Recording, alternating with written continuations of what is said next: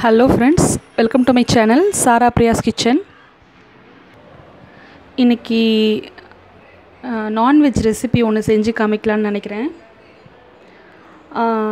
இதுக்கு வந்து mutton சுக்காவும் mutton சூப்பும் எப்படி பண்ணுறதுன்னு சொல்கிறேன் இன்றைக்கி வந்து கால் கிலோ மட்டன் கால் கிலோ நெஞ்செலும்பு எடுத்து நல்லா உப்பு மஞ்சள் தூள் போட்டு தண்ணியில் கழுவி எடுத்து வச்சுருக்கேன். கல்லுப்பு போட்டு கழுவுனேன். ஏன்னா அந்த சின்ன சின்ன முடி டஸ்ட் ஏதாவது இருந்தாலோ அந்த கசடு ஏதாவது இருந்தாலோ அந்த உப்பு போட்டு தேய்ச்சி உரசி கழுவும் போது போயிடும். ஸோ உப்பு மஞ்சள் பொடியும் போட்டு நல்லா தண்ணியில் நல்லா ரெண்டு மூணு தடவை கழுவி எடுத்து வச்சுருக்கேன். இப்போ வந்து இதை நான் நல்லா இதை பாயில் பண்ணி இதில் சூப் எடுக்க போகிறேன் இதை வந்து வேக வைக்கிறதுக்கு இது கூட என்னென்ன ஆட் பண்ணுறேன்னு காமிக்கிறேன். ஒரு அஞ்சாறு சின்ன வெங்காயம். ஒரு கால் பாதி தக்காளி.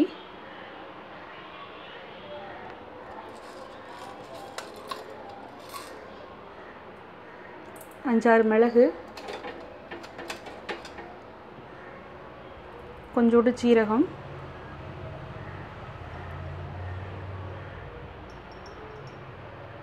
கொஞ்சம் மஞ்சப்பொடி.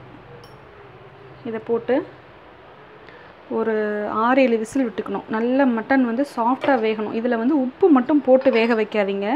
உப்பு போட்டு வேக வச்சிங்கன்னா மட்டன் வந்து ஒரு மாதிரி விரைச்சிரும். ரொம்ப ஹார்டாகிடும் மட்டன் வந்து சாஃப்டாக வேகணும்னா இந்த ஐட்டம்ஸ் மட்டும் போட்டு நல்லா தண்ணி ஊற்றி ஒரு அஞ்சாறு விசில் ஒரு ஆறு ஏழு விசில் கூட விடலாம். விட்டுட்டு மட்டன் வெந்துருச்சான்னு பார்த்துட்டு நான் உங்களுக்கு ம அந்த விசில் விட்டுட்டு நான் உங்களுக்கு காமிக்கிறேன். இப்போது மட்டன் சுக்காவுக்கு என்னென்ன மசாலா அரைக்கணும் அப்படிங்கிறத நான் காமிக்கிறேன். முதல்ல வந்து ஒரு வானொலி அடுப்பில் வச்சுட்டு அது நல்லா காயட்டும். காஞ்ச உடனே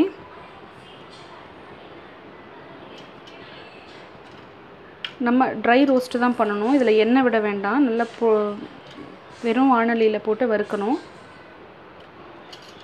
பட்டை அன்னாசிப்பூ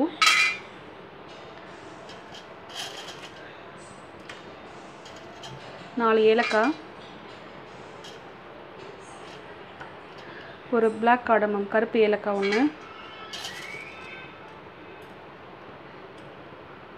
ஒரு அஞ்சாறு கிராம்பு.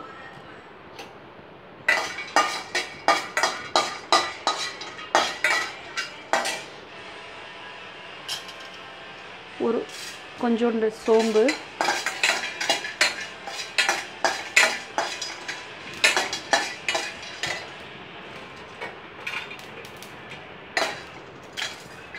ஒரு ஆறு வரமிளகா காம்பு கிள்ளின வரமிளகா காரத்துக்கு ஏற்ற மாதிரி நீங்கள் போட்டுக்கோங்க.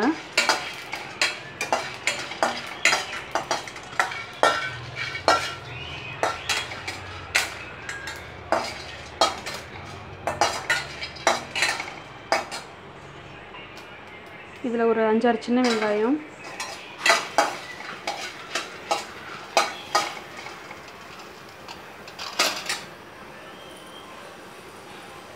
கொஞ்சோண்டு மிளகு கொஞ்சமாக ஜீரகம்.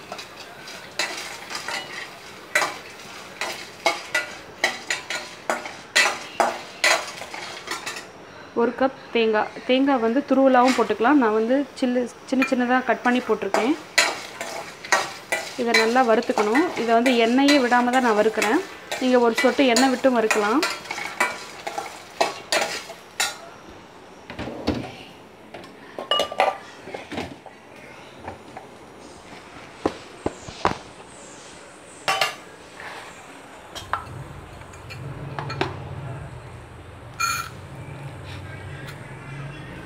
ரெண்டு டேபிள் ஸ்பூன் கொத்தமல்லி விதை.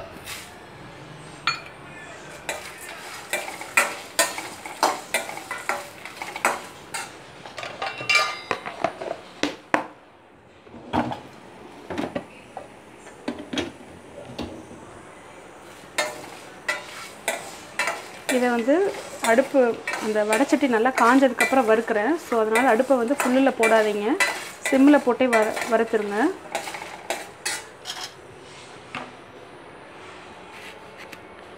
இப்போது கட்டி பெருங்காயம் இருந்தால் போடலாம் அப்படி இல்லைன்னா தூள் பெருங்காயம்.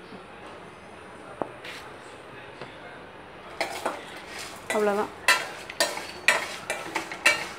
இந்த மசாலாவில் நல்லா தண்ணி விட்டு நல்லா மையாக பேஸ்ட் மாதிரி அரைச்சிக்கணும். மட்டன் வேகிறதுக்குள்ளே இந்த மசாலாவை ரெடி பண்ணிடலாம். ஸோ ரொம்ப டைம் எடுக்காது.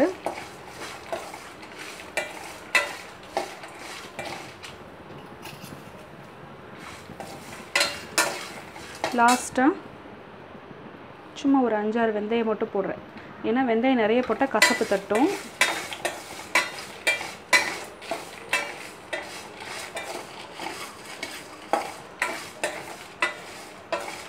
இதில் மராட்டி மொக்கு அதெல்லாம் இருந்தால் கூட நீங்கள் போட்டுக்கலாம். பாருங்கள் தேங்காயிலே லைட்டாக அந்த மாதிரி ஈரப்பசெல்லாம் போகுது. வெங்காயம் தேங்காயில் எல்லாமே. ஸோ இந்த மசாலா வந்து நல்லா வறுத்துட்டேன். இதை வந்து நான் அந்த இஞ்சி பூண்டு பேஸ்ட் அரைச்ச மிக்சியில் அப்படியே போட்டு அரைக்க போகிறேன் நான் மிக்ஸி இந்த மிக்சி கழுவலை. ஸோ இஞ்சி பூண்டு எசன்ஸ் கொஞ்சம் இருக்குது இது கூடவே நான் வந்து அந்த மசாலாலாம் அரைச்சிட்டு நான் காமிக்கிறேன். பாருங்கள் அந்த மசாலாவை வந்து நல்லா தண்ணி விட்டு பேஸ்ட் மாதிரி அரைச்சிருக்கேன். இப்போது இந்த இந்த கேப்பில் வந்து நம்ம தாளிக்கிறதுக்கு அந்த குழம்பு சுக்கா கூட்டுறதுக்கு தேவையானதை சொல்லிடுறேன். தக்காளி சாரி மட்டன் குக்கர் விசில் அடிக்குது. ஸோ வெங்காயம் ஒரே ஒரு பெரிய வெங்காயம் தக்காளி எல்லாம் சாப் பண்ணி வச்சுருக்கேன். இது இல்லாமல் மசாலா ஐட்டம்ஸ்னு சொல்கிறேன் கரம் மசாலா மஞ்சத்தூள் கொஞ்சமாக மிளகாய்த்தூள். இதுக்கு வந்து நான் காஷ்மீரி மிளகாய்த்தூள் போடுறேன் கலருக்காக. ஏன்னா இதுலேயே வந்து நம்ம மிளகாய் வத்தல் ஒரு ஆறு மிளகாய் வத்தல் சேர்த்துட்டோம். கால் கிலோ மட்டனுக்கு அது கரெக்டாக இருக்கும். இன்னும் காரம் சாப்பிடுவீங்கன்னா அதுவும் போட்டுக்கலாம். இப்போது இந்த மாதிரி ஒரு அஞ்சு விசில் வந்ததுக்கப்புறமா ஒரு ஆறாவது விசில் வர்ற டைம் பார்த்து குக்கரை சிம்மில் போட்டுட்டு அந்த சிம்மில் அந்த விசில் வர வரைக்கும் வெயிட் பண்ணுங்கள் அதுவே போதும். ஸோ அந்த சிம்மில் போட்டுட்டு அந்த தம் ஃபுல்லாக ஏறி விசில் வர வரைக்கும் இருந்தீங்கனாலே மட்டன் வந்து நல்லா சாஃப்டாக வெந்துடும் நான் இப்போ இன்னும் அடுத்து ஒரு விசில் விட்டுட்டு நான் குக்கர் ப்ரெஷர் அதுவாக ரிலீஸ் ஆனதுக்கப்புறமா ஓப்பன் பண்ணி காமிக்கிறேன். பாருங்கள் மட்டன் வந்து கேஸ் ரிலீஸ் பண்ணிட்டேன். ஸ்டீம் வந்துட்டுருக்கு. இப்போ பாருங்கள் மட்டன் வந்து எவ்வளோ சாஃப்டாக வந்திருக்கு பாருங்கள் சும்மா கத்திலே இந்த மாதிரி பிச்சிட முடியுது. ஸோ இந்த மாதிரி நல்லா வெந்துடும் அந்த மாதிரி விசில் விட்டுட்டு எடுத்திங்கன்னா இப்போது இந்த சூப்பை வந்து வடிகட்டி எடுத்துட்டு மட்டனை வந்து தனியாக எடுத்துக்க போகிறேன் எடுத்துகிட்டு நான் காமிக்கிறேன். பாருங்கள் சூப்பை வந்து நல்லா தனியாக ஃபில்டர் பண்ணி எடுத்திருக்கேன். மட்டன் வந்து இந்த மாதிரி அந்த அந்த இன்க்ரீடியன்ஸ் என்னென்னலாம் போட்டு வேக வச்சோமோ அது கூடவே அப்படியே ஃபில்டர் பண்ணி எடுத்து மட்டனை தனியாக வச்சுருக்கேன். இப்போ குழம்பு கூட்டி கூட்டுறது வந்து நான் ப்ரெஷர் குக்கரில் தான் கூட்ட போகிறேன் மேக்ஸிமம் எல்லோரும் கடாயில் தான் கூட்டுவாங்க. நான் வந்து ப்ரெஷர் குக்கரில் ஏன் வைக்கிறேன்னா ப்ரெஷர் குக்கர்லேயே வச்சிட்டோன்னா நமக்கு மசாலா வந்து அந்த மட்டனுக்குள்ளே இன்னும் நல்லா இறங்கும். ஸோ அதனால் நான் வந்து ப்ரெஷர் குக்கரில் வைக்கிறேன். ஒரே விசில் தான் விட்டு எடுத்துருவேன். ஏன்னா மட்டன் நல்லா வெந்துருச்சு. இப்போ நான் குழம்பு கூட்டுறதை நான் காமிக்கிறேன். இப்போது ப்ரெஷர் குக்கர் நல்லா காஞ்சிருச்சு. நான் மேக்ஸிமம் வந்து குக்கிங்க்கு வந்து ரைஸ் வைக்கிறதா இருந்தாலும்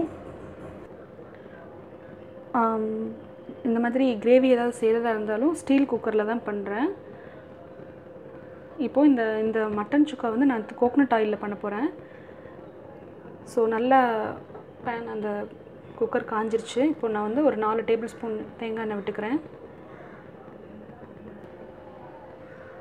எண்ணெய் நல்லா காயணும்?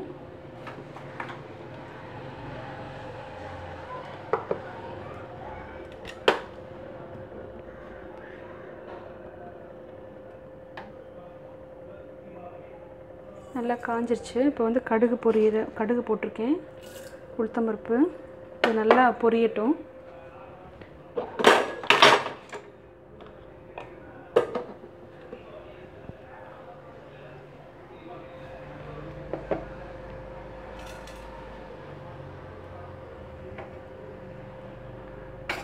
ஸோ இது ஓரளவுக்கு பொரிஞ்ச உடனே நான் கட் பண்ணி வச்ச அந்த ஆனியன்லாம் போட்டுக்கிறேன்.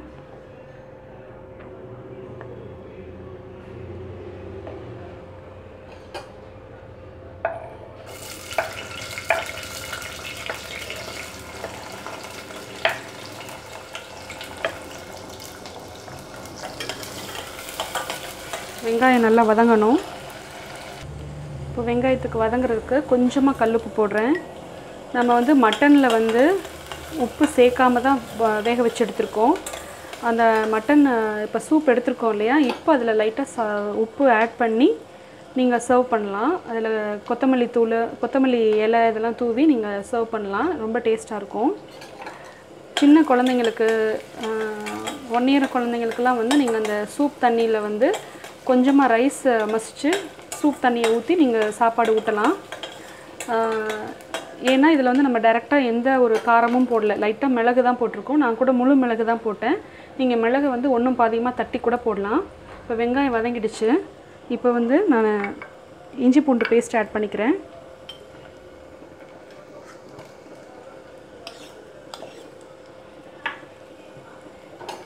இஞ்சி பூண்டு பேஸ்ட்டோட அந்த பச்சை வாசனை போகணும். நல்லா வதங்கிடுச்சு. இப்போது நான் கட் பண்ணி வச்சுருக்கிற அந்த ஒரு தக்காளியை போட்டுக்கிறேன். இது வந்து நாட்டு தக்காளி தான் எடுத்திருக்கேன் நான். நீங்கள் மேக்ஸிமம் நாட்டு தக்காளியில் உள்ளே இருக்கிற அந்த சீட்ஸ் இருக்குல்ல விதை அதை எல்லாத்தையுமே எடுத்துகிட்டு நீங்கள் யூஸ் பண்ணால் நல்லது. நான் எடுக்கலை இன்றைக்கி நான் எப்போயுமே ரெகுலராக எடுத்துருவேன் இன்றைக்கி எடுக்கலை. ஸோ நீங்கள் அதை யூஸ் பண்ணும்போது எடுத்துருங்க. இதுக்கு பெங்களூர் தக்காளியும் போடலாம். பெங்களூர் தக்காளி போட்டால் அந்த வெங்காயத்துக்கும் அதுக்கும் கொஞ்சம் லைட்டாக இனிப்பு தட்டும். ஸோ காரம் வந்து கொஞ்சம் தூக்கலாக போடுற மாதிரி இருக்கும். ஸோ இது நல்லா வதங்கட்டும். ஸோ பாருங்கள் நல்லா வதங்கிடுச்சு. இப்போ நம்ம அந்த மசாலா பொடி வகைகள்லாம் சேர்த்துக்கலாம். ஒரு டீஸ்பூன் மஞ்சத்தூள். ஹாஃப் டீஸ்பூன் மிளகாத்தூள். ஏன்னா மிளகாத்தூள் வந்து நான் கம்மியாக தான் சேர்க்குறேன்.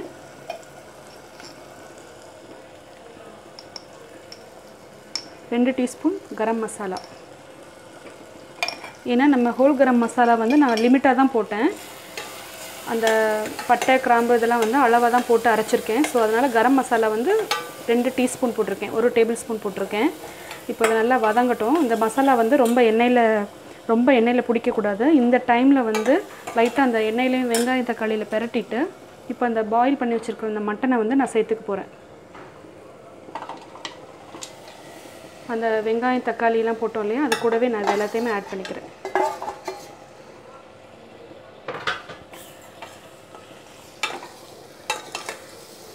இது வந்து ரொம்ப ட்ரை சுக்கா மாதிரி நான் பண்ணல. லைட்டாக லைட்டாக கிரேவி பதத்துக்கு தான் பண்ணுறேன் அப்படியே சாத சூடான சாதத்துக்கு சாப்பிட்ற மாதிரி. இப்போ வந்து லைட்டாக அந்த இது வந்து ஃபுல் சிம்லேயும் வைக்கக்கூடாது. ஃபுல்லாகவும் கேஸ் வந்து ஃபுல்லாகவும் வைக்கக்கூடாது. மீடியமில் வச்சுட்டு இந்த மாதிரி லைட்டாக கிளறுறேன். கிளறிட்டு இப்போது நம்ம அந்த அரைச்சி வச்ச மசாலா இருக்கு இல்லையா? இந்த மசாலாலாம் ஆட் பண்ணுறேன் இதுக்கு வந்து இந்த ஒட்டியிருக்கிற மசாலாவுக்கு தண்ணி விட்டு அலசி ஊற்றாமல் நம்ம சூப் வேக வச்ச தண்ணி இருக்கு இல்லையா? அதையே வந்து ஒரு குழிக்கரண்டி அளவுக்கு தண்ணி ஊற்றி கழுவி ஊற்றிக்க போகிறேன் இந்த தண்ணியும் நான் ஆட் பண்ணுறேன் அவ்வளோதான் தண்ணி. இப்போது கேஸை ஃபுல்லில் வைக்கிறேன்